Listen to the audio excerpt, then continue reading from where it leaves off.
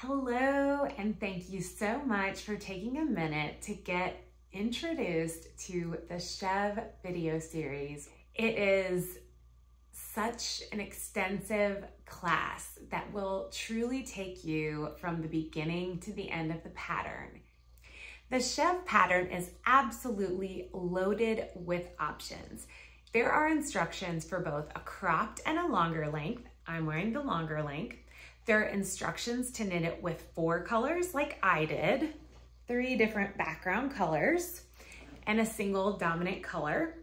And there are also options to knit it with simply two colors where you maintain the same background color throughout and use a different color for your color work and your pattern.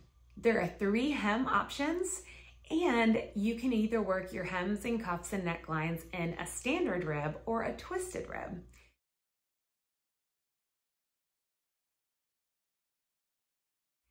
Although this pattern is labeled adventurous intermediate to experienced, if you take this workshop, it's accessible even for beginning knitters. Seriously, I go through everything. All you need to know before taking this workshop is how to knit and purl. That's it. I will teach you and demonstrate with you every other technique that's featured in this pattern. Is seriously loaded with tons of information. I think the best thing about an online workshop is that you have the ability to watch it at your own pace, skip sections that don't apply to you, or rewatch sections as many times as you need while you're working on a particular technique. You'll have continuous access to the course along with all of the materials that are within the course that you download, such as worksheets or diagrams, all things that I include and demonstrate how to use so that you can make the sweater exactly the way you want to. We'll begin by talking through a few important before you begin topics, such as sizing, how to choose appropriate yarn, whether to prioritize row or stitch gauge. And if you don't match both, we have worksheets that actually will help you convert one or the other and help you choose your size.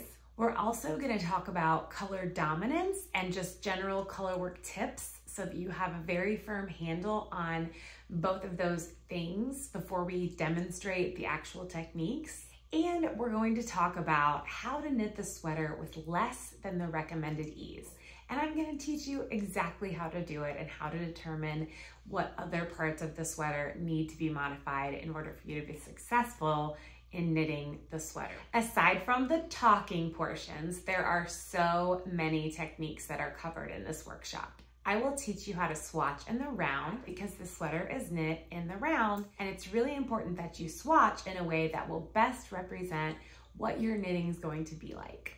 I'll be teaching you both the provisional cast on and the cable cast on as those two cast ons are used in the project.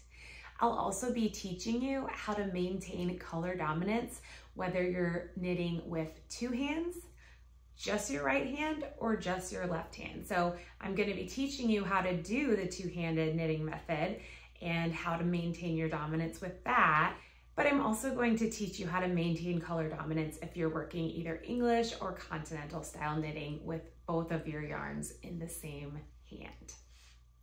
I'm even going to go into basic increasing and decreasing and how to maintain a stitch pattern while you're decreasing. I just wanted to include everything so that anyone could knit this pattern.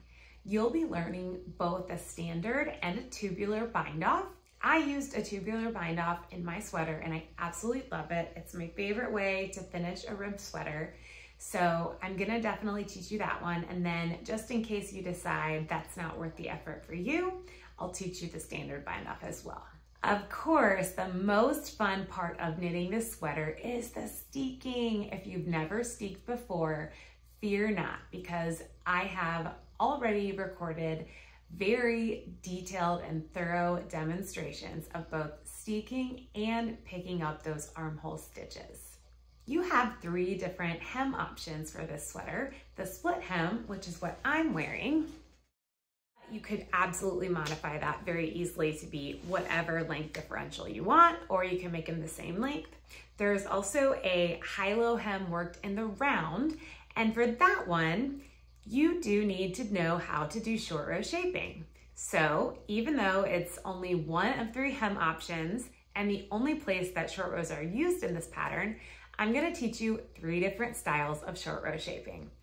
The German method, the Japanese method, and then the basic wrap and turn method. Your other hem style is just a standard hem where you knit the rib and the round and that's it. Another technique that I'll be teaching you how to do is the twisted rib.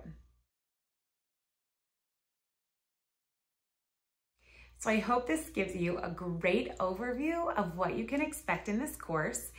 And whether you take it or not, I just know you're gonna love your Chevv when it's done. There are so many hours of instruction included in this course. It is probably one of the longest workshops I've ever done because it is just so jam-packed with techniques. And within the course, there will be places where you'll download different pages. You'll have all of that included for you within the course all in one place. And as I said before, I think the best thing about an online course is that you can go at your own pace, skip or rewatch sections as needed. I really hope you join me. I can't wait to see your Chevv.